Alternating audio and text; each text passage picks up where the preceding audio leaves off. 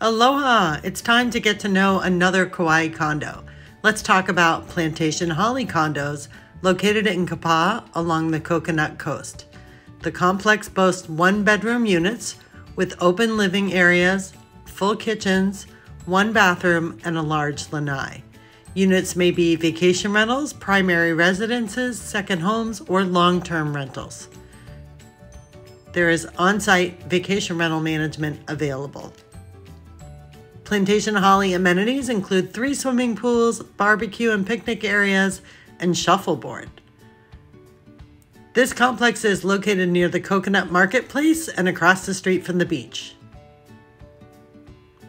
Thinking about buying or selling a Kauai condo? Call, text, or email me, or feel free to visit my website on or near the beach.com.